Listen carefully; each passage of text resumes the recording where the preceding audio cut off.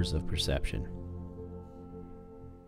In another of his conversations, he explained that any state of awareness that involves an unusual position of the assemblage point is technically a dream. He said that the advantage of dreams over everyday states of attention is that they allow us to cover a wider sensory perspective and spectrum and to better synthesize the information we receive. In other words, we learn how to live with more intensity. The result, greater clarity in our perceptual progress.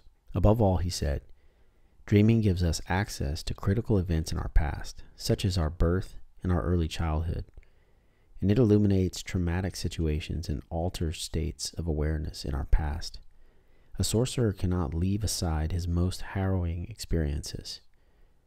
Towards the end of his lecture, he gave a definition that I considered very important because he touched on what I felt was a sensitive topic. He said, Dreaming is not something impossible, it is just a kind of deep meditation. For years, I had been doing something spiritual. Correction. For years, I had been doing some spiritual exercises called meditation. These practices were quite different from what Carlos was proposing, both regarding their form and their results. As soon as I had an opportunity, I asked him to clarify the distinctions between the concept of dreaming and meditation. He answered, what you're asking is difficult because there is no way of meditating without dreaming. Both terms describe the same phenomenon.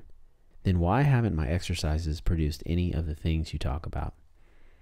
You had better answer that yourself. In my opinion, what you have practiced up to now has not been meditation, but some kind of autosuggestion. It is common for people to confuse both things that, for a sor- sorcerer, are not the same. Pacifying the mind is not meditation, but drowsiness. On the other hand, dreaming is something dynamic. It is the consequence of a process of sustained concentration, which implies a veritable battle against our lack of attention. If it were just the result of a dulling of the senses, practitioners would not call themselves warriors. A dreamer can be the very incarnation of ferocity or seem profoundly calm but none of that has any real importance because he does not identify himself with his mental states. He knows that any definite situation is nothing but a fixation of the assemblage point.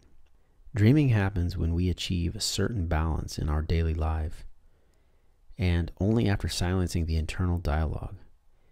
The term dreaming is not the most appropriate to describe an exercise of awareness which has nothing to do with the content of the mind. I use it out of respect for the tradition of my lineage, but the ancient seers called it something else. Expert, expert sorcerers dream, starting from their state of vigil, as easily as from sleeping, because for them it is not about to close the eyes and snore, but to witness other worlds which are out there. From the point of view of will, what distinguishes a dream from a daytime vigil of a sorcerer is that the energy body obeys other laws. He can carry out incredible feats like passing through a wall or moving to the ends of the universe in a blink of an eye. Such experiences are complete and accumulative, and only somebody who has not lived them himself would cling to logical categories to explain them. But that kind of manifestation, however valuable, are not the objective of dreaming. The dream is essential for you because access to the Nagual happens almost exclusively in that state. I asked him, Why is this so? He answered, The reason is evident. People who have a natural tendency to dream and a surplus of energy qualify to find other, more advanced dreamers, either accidentally or because they deliberately look for them. Occasionally, these traveling companions accept to take charge of instructing them more deeply in the art. Once an apprentice begins to shine, it is inevitable that he will attract the attention of a Nagual. Naguals are like eagles, constantly stalking. As soon as they detect an increment of awareness, they swoop in, because a voluntary dreamer is a rarity. For a teacher, it is much easier to stimulate an effort that has already begun than creating one from nothing. Carlos told me that he maintained contact with many warriors from various parts of the world through dreaming.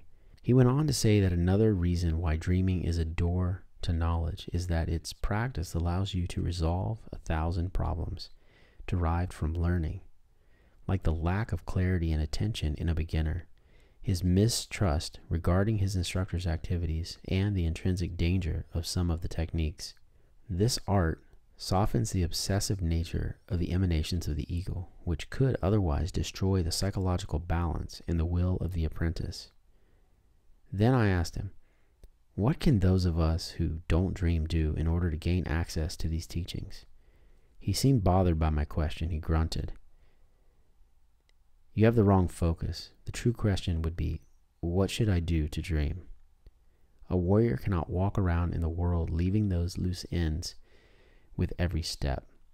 If you genuinely cannot consider your dreams a part of your life, if you cannot visualize them as what they are, avenues of power, if you do not even understand what they are or what purpose they serve, well, then you have a lot of work before you.